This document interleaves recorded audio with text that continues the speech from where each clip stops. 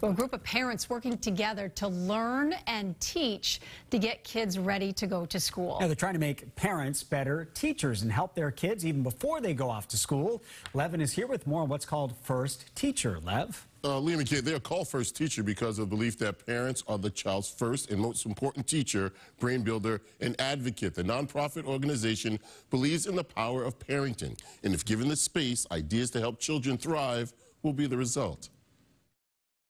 Day in and day out, parenting has its difficulties.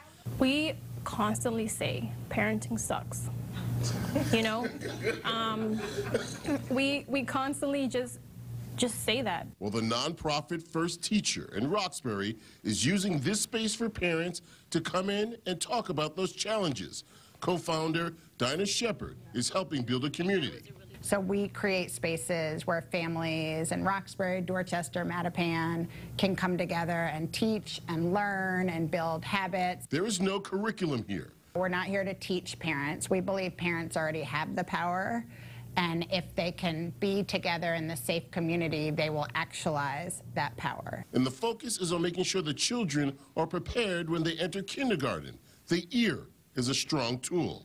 I have a son who has autism, and I didn't have those kind of communities when he was first diagnosed. So for me to be able to be a space keeper for these parents and to be able to listen and actually be like, I get that. And in this space, parents are sharing challenges that lead to some solutions. Because we're not like, this is what you have to do, parents are, are just like hearing what other parents are saying and they're like, wow, I've never thought about that actually. Let me try that. My hope is that it first teacher extends out of this place, that it's in schools.